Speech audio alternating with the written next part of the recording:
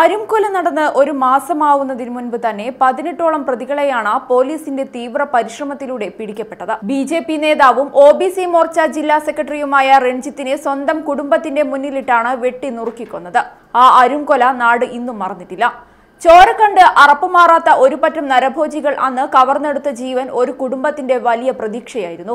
കഴിഞ്ഞ ദിവസം കേസിലെ മുഖ്യ സൂത്രധാരന്മാരായ രണ്ട് എസ് പ്രവർത്തകരെ പോലീസ് അറസ്റ്റ് ചെയ്തു. മണ്ണഞ്ചേരി സ്വദേശിയായ ഷാജി മണ്ണഞ്ചേരി പൊന്നാട് സ്വദേശി നഹാസ് എന്നിവരാണ് അറസ്റ്റിലായത്. ഡിസംബർ പത്തൊൻപതിന് ബൈക്കിലെത്തിയ പന്ത്രണ്ട് അംഗ സംഘമാണ് ബി ജെ പി നേതാവ് രഞ്ജിത്തിനെ കൊലപ്പെടുത്തിയത്. പ്രഭാത സവാരിക്കായി വീട്ടിൽ നിന്നും ഇറങ്ങാനിരിക്കെയാണ് ഒരു സംഘം ബൈക്കിലെത്തി രഞ്ജിത്തിനെ വെട്ടിക്കൊലപ്പെടുത്തിയത്. ആലപ്പുഴ നഗരസഭ വെള്ളക്കിണറിൽ വെച്ചാണ് ആക്രമണമുണ്ടായത്. നേരത്തെ O B C Morcha Alappuzha ജില്ലാ സെക്രട്ടറിയായിരുന്നു Ranjith Sreenivas. S D P I പ്രവർത്തകന്റെ കൊലപാതകത്തിന് പകരമായാണ് രഞ്ജിത്തിന്റെ ജീവനെടുത്തത്. പ്രതികൾ സംസ്ഥാനത്തിന് പുറത്തേക്ക് കടന്നെന്ന സൂചനയെ തുടർന്ന് തമിഴ്നാട് കർണാടക എന്നീ സംസ്ഥാനങ്ങളിലും പ്രതികൾക്കായി തിരച്ചിൽ നടത്തിയിരുന്നു. സംസ്ഥാനത്തിന് പുറത്തുനിന്നുള്ള സഹായം ലഭിക്കുന്നതിനാൽ പ്രതികൾ സുരക്ഷിത ഇടങ്ങളിലേക്ക് ഒളിത്താവളം മാറ്റാൻ ഇടയുണ്ടെന്നാണ് അന്വേഷണ സംഘത്തിന്റെ നിഗമനം. സംഭവത്തിൽ എസ് ഡി പി ഐക്കും പോപ്പുലർ ഫ്രണ്ടിനെതിരെയും ശക്തമായാണ് ബി ജെ പി വിമർശിക്കുന്നത്. രഞ്ജിത് ശ്രീനിവാസന്റെ കൊലപാതകം ആസൂത്രിതമെന്ന് ബി ജെ പി സംസ്ഥാന പ്രസിഡന്റ് കെ സുരേന്ദ്രൻ കഴിഞ്ഞ ദിവസം പറഞ്ഞിരുന്നു. കേവലം B J P R S S നേതാക്കളെ മാത്രം ലക്ഷ്യം വെച്ചുള്ള ആക്രമമല്ല ഇതെന്നും മറിച്ച് ഒരു സമൂഹത്തിന് നേരെ തിരിക്കാനുള്ള ഗൂഢാലോചനയുടെ ഭാഗമാണിതെന്നും കെ. സുരേന്ദ്രൻ വിമർശിച്ചു. ഉന്നത നേതാക്കളുടെ അറിവോടെയാണ് ഗൂഢാലോചന നടന്നിരിക്കുന്നതെന്നും ജനങ്ങളെ ചേരിതിരിച്ച് കലാപത്തിലേക്ക് തള്ളിവിടാനുള്ള ശ്രമമാണെന്നും സുരേന്ദ്രൻ പറഞ്ഞു.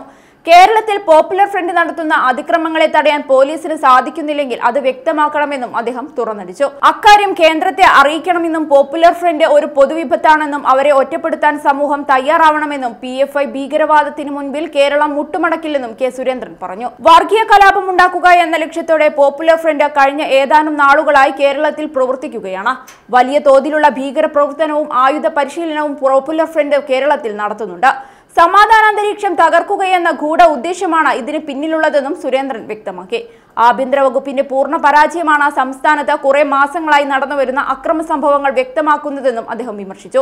ഭീകരപ്രവർത്തകർക്കൊപ്പമാണ് സർക്കാർ എന്നും സി പി എമ്മിന്റെയും പോലീസിന്റെയും സഹായം ലഭിക്കുന്നതുകൊണ്ടാണ് ഇവർക്ക് ഇത്തരം അക്രമ സംഭവങ്ങൾ നടത്താൻ ധൈര്യം ലഭിക്കുന്നതെന്നും അദ്ദേഹം ചൂണ്ടിക്കാട്ടി.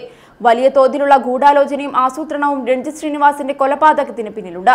ഒരു ക്രിമിനൽ കേസിൽ പോലും പ്രതിയല്ലാത്ത നാട്ടിലെ ജനസ്വാധീനമുള്ള ബി ജെ പി നേതാക്കളിൽ ഒരാളായ രഞ്ജിത്തിനെ തിരഞ്ഞുപിടിച്ച് കൊലപ്പെടുത്തുകയാണ് പോപ്പുലർ ഫ്രണ്ട് ചെയ്തത്.